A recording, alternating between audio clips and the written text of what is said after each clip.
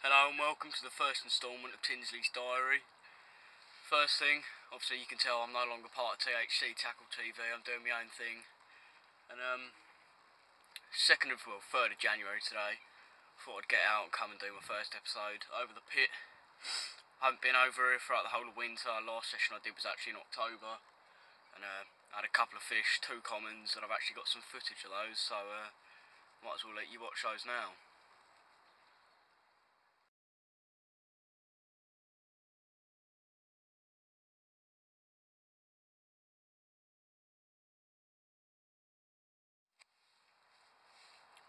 See, those commons weren't massive, but nonetheless a result on a hard pit like this.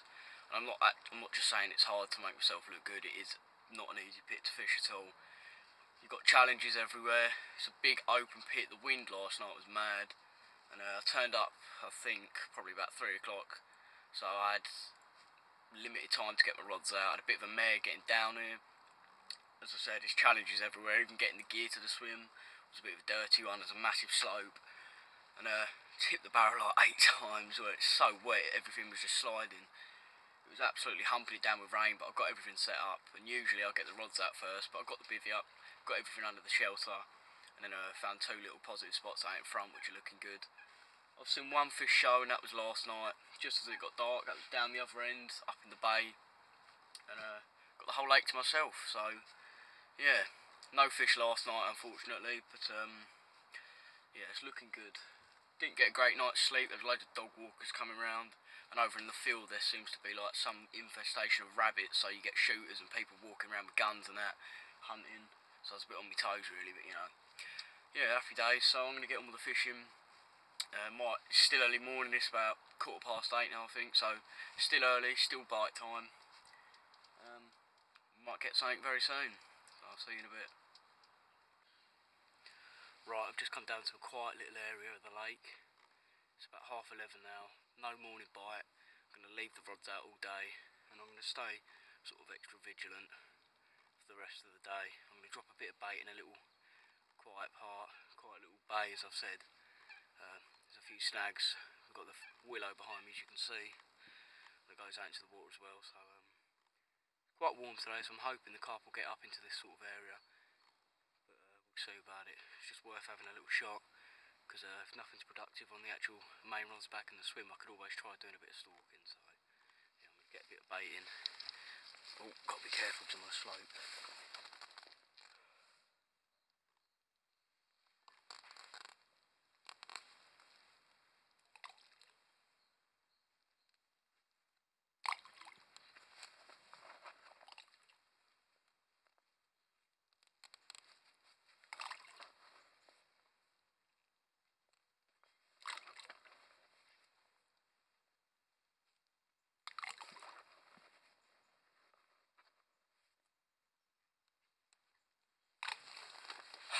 Spot on.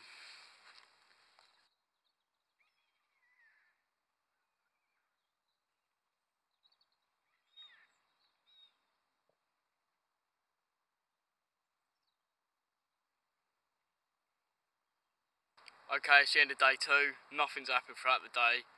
Um, Pre-baiting that little spot that you saw me doing earlier hasn't paid off. Nothing went down there. And there was a family of people that went down there and threw a load of bread in. So sort of disturbed it anyway. Took all the seagulls out of the way, mind you. Got both rods out, put a fat PVA bag out, just a single PVA bag with a handful of boilies in, no freebies or anything.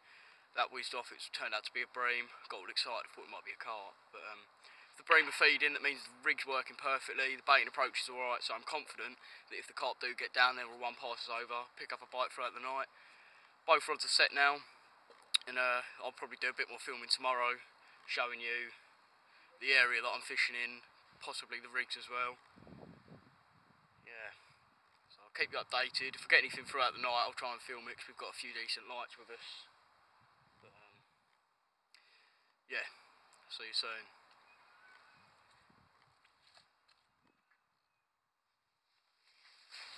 Right, just as I told you that I'd have one bream, whizzed off, had another one. Um, don't usually hold up slimies for the camera, but it's positive. Fish are getting down there. And you know, if you keep out when the bream are down there, the carp come along sooner or later. So that's what I'm going to do. And I'm pretty sure I might get one tonight. I'm fairly confident. Yeah, for the time being, we'll get this little baby back. Smelly old thing.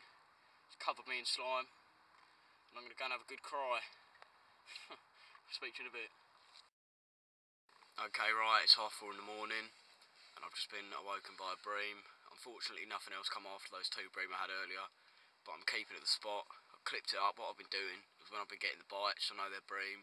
I've been taking, taking the rod, striking it, putting it in the clip, and then bringing them in.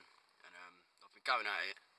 I've got another bag out there, so I'm feeling confident. So I'm gonna have a fag and a hot chocolate, and um, relieve my bream stress and try and get back to sleep. And I'll get back to you in the morning.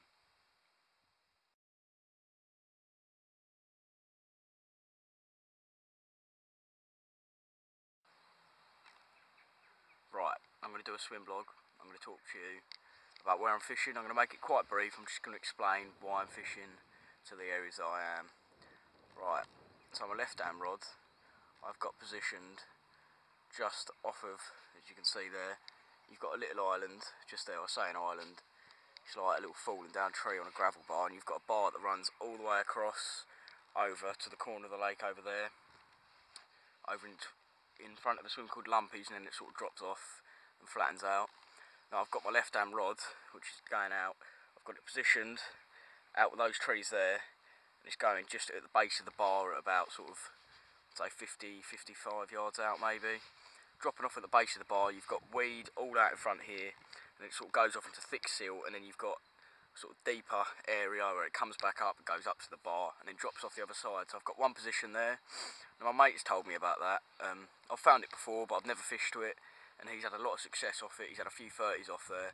Um, him and his brother have completely torn it apart. Tosh Welton, you may know him, started filming with my channel and I'm going to be fishing with him for the next season so you'll probably see him in these diary blogs too. I think together they've had about six 30s out of here and most of them have been caught off that spot believe it or not. So I've got my far line marker with those trees there, and then my right hand rod. See that tree there? I've got it going in line with that, and it's going at about 60 yards. And uh, the bar runs diagonally off, so I'm not going over the top of the bar, giving me a bad presentation. It's going just in front of the base of the bar, so not quite in it, not quite in in the uh, trough as such, but um, comes right out and uh, it's like on a sort of it's a thick silk sort of silkweedy bottom oh here we go oh. what are the chances of that getting a take for the camera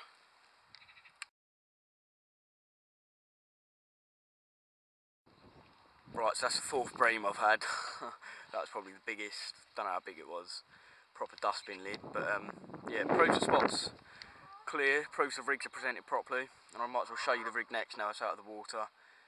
But um, yeah, basically, I don't know if I explained that clear enough, but that spot out there in line with that tree, it's just sort of a flat area of silkweed and silt, thick silt. So I've got a long hair rig of about 9-10 inches on there, and a half bottom bait and a half pop up, close together, so it's a proper critically balanced uh, bait. Just sits on top of everything with two bits of foam, and I've just been catapulting out like 10 boilies.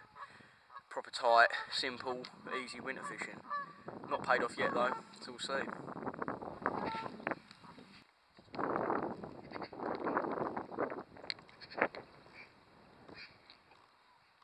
Right, I'm going to show you the rig before I get it out.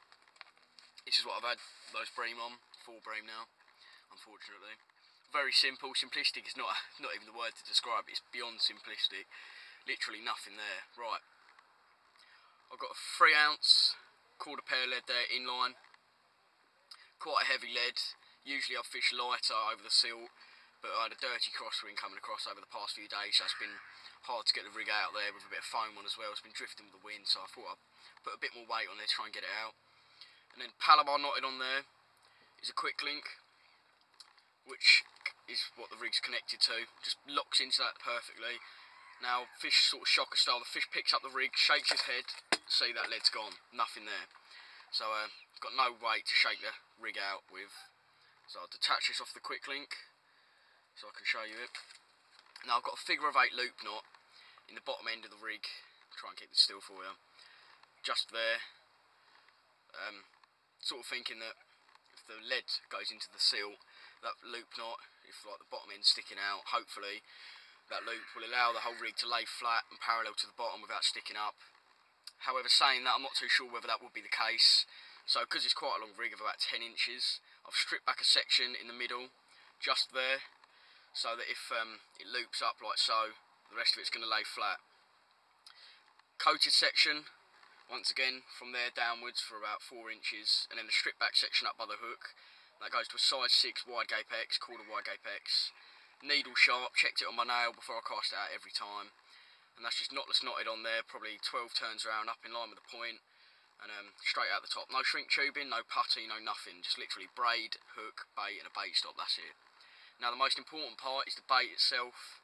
I've got a sort of 50-50, half and half pop up there. I've got a 15mm Mark 1 bottom bait on the bottom, then a 15mm plum pop up on top. So critically balanced, hook, uh, hook lays flat on the deck, the pop-up wafts up above, uh, acts more like a freebie but a bit lighter, whacks up into the gob, hopefully nails them. So uh, get this back out there and I'll see you soon.